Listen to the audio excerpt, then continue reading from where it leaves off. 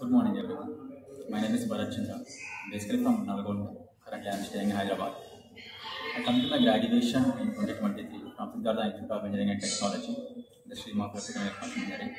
After my graduation, I joined in the Brothers in the month of April 23rd, and then I got placed in the month of August 21st. And the staff in the Brothers helped me a lot to gain this job. And their presentations and mock interviews very helpful to me to crack the interview.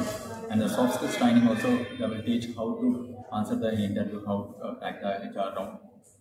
Everything they will train the, the training sessions will more help me to crack this interview.